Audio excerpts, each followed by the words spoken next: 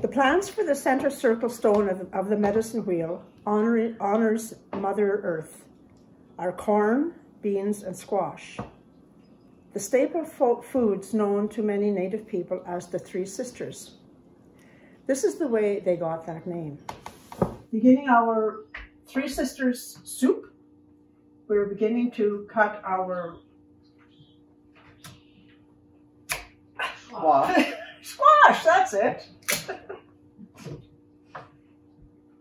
Some of them, uh, they're very difficult to cut. Um, an idea that I've learned, or something that I've learned through, through my years, is if sometimes if you if you microwave them for a little bit, they're, they're not as hard to hmm, okay cut. That I didn't know. Thank you. And uh, um, when you microwave them, you have to punch them a little bit with a two-prong fork or something to put some holes in it so that the steam can escape. And uh, so what kind of squash is this? Is it, does it really matter? I usually use a butternut, but this is an acorn. Okay. Uh, another another squash that I've discovered just recently, the last couple of years, is a buttercup squash, which, which looks very much like an acorn squash, but it tastes, uh, it's, it's not quite as tough as an acorn, and it tastes sweeter. There were three girls who happened to be sisters who never learned how to get along. They were always quarreling, disagreeing, arguing, and criticizing each other. They had very few friends, but they did have relatives in another village, which was a morning's walk away. When they began to wish for conversation and the warmth of other humans, they would visit their relatives. One day they started out toward the other village. Inevitably, it wasn't long before the girls began finding fault with each other. The girls walked and fought most of the morning. An hour before they reached the village of their relatives, they became so loud and angry that the people in the village could hear them. Oh no, they moaned. It's those three sisters. Why do they have to come here? In the village, an old woman came out of her lodge. She stood in front of her lodge waiting. The girls were very involved in their quarreling and they didn't notice the old woman until they were almost at her house. The old woman's stern look startled them. The old grandmother took them into her lodge. Look this way, she instructed as she led them to a window. Tell me what you see in the garden. Tell me how it is out there, urged the old woman. There's tall corn, grandmother, said one of the girls. Its roots are in the earth, and its tassels reach high towards the sun and the wind, and it's growing good food for the people. And there are beans, said the second girl. They're growing with the corn, and their vines wind around the tall corn stalks. I can't tell which plant is holding the other up, but the beans are also growing good food for the people. And the squashes are there too, said the third girl. Their beautiful leaves shade the moist earth to keep the water in, and it helps the corn and the beans to grow. And these vines are also growing good food for the people. You are right, the old grandmother said. All three of you have part of the have told part of the truth, but only when each of you have spoken has the whole story been told. The next addition to to our uh, our soup I'm going to let you do this. It's your channel, they tend to work better for the people own it. Wow. Some days, yes. Some days, no. Um, I, uh, I, I would, I would like to. One of my things I do, I guess, is to uh, make things simple as I can. Especially uh, when my kids left, left to go to, to college, I gave made them recipes to uh, that they could put together quickly and cheaply and easily. And so therefore, um, when we come to making Three Sisters soup, we uh, need beans. And for a quick addition, we use canned beans. However, the story of the, of the three sisters is that we use corn and and uh, beans and squash from our garden. Some people don't have that, so this is the this is the other way. Okay. And uh, true to um, modern ways, doesn't always work well. So I will let you carry on with that. Okay, this is bubbling nicely. And I think before I do anything else, though, I like. I think maybe I'm going to twist these a little bit. Oh, what do Just you to- do the handy dandy whisker? In lieu of that, they could just squash, squash up the uh, squash, squash, Squash up up the the squash squash. with a fork, uh, just to make it a little bit um, thicker. Like it'll, it'll help with the consistency of the of the of the, of the soup itself. Yeah. So we do this just to make the soup a little thicker. It's not completely uh, lumpless, but I think it's good enough. Would you normally make it completely Oh. lumpless still? Oh, I I do it until I get tired of it. Oh, okay. My way of cooking. Well, for me to ask that one, the succotash that I make with the three sisters, Good. It Came out pretty clean. Okay, and now we need corn.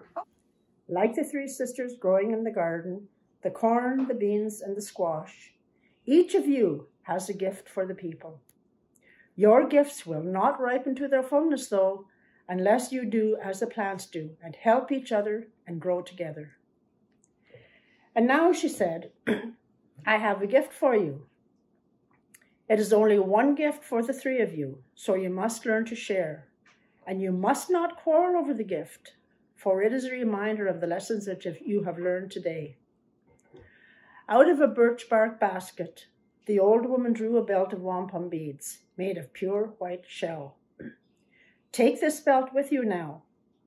Whenever you are together, or whenever people cannot find harmony with each other, it will give you strength to help them. You will not bicker with each other anymore because every time you do, one of these beads will turn black and spoil the belt.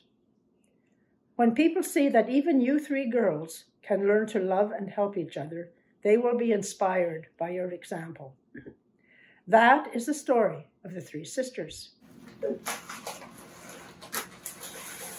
you usually unguard yours first? No. Now we can we can leave it like that. Now, what? How do you like your consistency of your soup? Oh, anyways, made for me. I'm good. A little bit of tomato paste. oh, Now this this is according to the recipe that I have, and uh, so what is that again? Tomato paste. It helps with, the consistency a little bit too, and just the, the, the, flavor as well. Yeah. I've got some. Um, okay, this can go back on the stove and simmer a little bit. So these go in later. I'll put that in now. This is the bay leaf and um, actually there's some garlic here. Would you like to? I'd be happy to do that.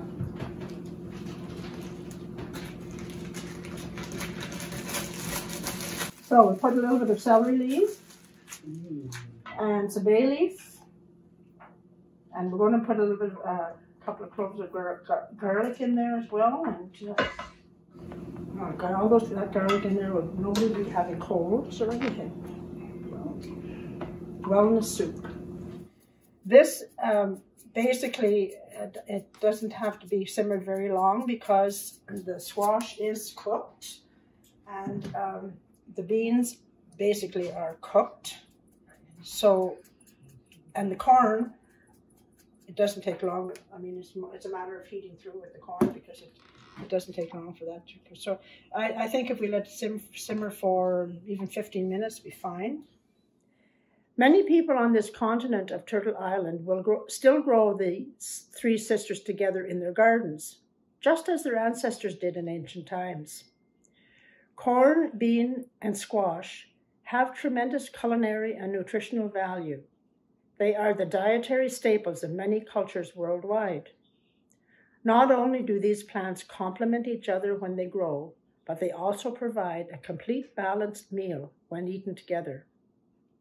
It is a wise person who remembers the story of the three, three sisters and the bounty of the Earth Mother they represent. Miigwech Norma for this very exciting succotash that you've made. Miigwech for the gift of the story of the three sisters. And that in telling that story, I was beginning to reminisce about, and I've been doing this since we were asked about this project, and have talked with my mom about how the three sisters came into my into my being, and it was from my grandma her and, and grandpa both were these amazing, amazing gardeners and arborists. Like they just were so in tune with Mother Nature. So I had that gift on both sides in, in that way. And always in the fall, I remember it being like late August, early September. Grandma and Grandpa would come to our home well, was where we lived by the water during the summer. That was our summer summer place. And Grandma would brought this dish that was called succotash. And it was so simple, and it was all the things that came together at that time. They all ripened in that season. And when I was talking with my mom the other day and telling her what we were doing and you know, just going through the succotash and, and Moss was saying there was, it was the earliest that you picked the, the, the sweetest of the beans. They were really young and so they were really tender. Mm. And the squash was just not had the frost yet, but still there was just the beginning hint of the sweetness to it. And with the early corn, it was just, and so what grandma would do, she would, she had to clean these beans by hand. We cut the corn off the cob, um, and the squash cutting like how you demonstrated there earlier today. I can't give it, um, amounts because we didn't grow up measuring in that way. So you were feeding a family of gee whiz, then, you know, it'd be eight or nine people for that meal. So you made that pot big enough. If there was any left over, it froze really well. Um, we didn't have the teaching of bringing together and goodness in that way. But when I think back about those meals, that's what was there. That's what we felt. Mm-hmm. There was that gift of having done that work and then coming together as as a community to uh, to enjoy that. Miigwech for mm-hmm. letting me share that. It, it, means a lot. I haven't. I don't know. It's been a pretty long time since I've been able to share in that mm-hmm. way. So I thank Miigwech for that.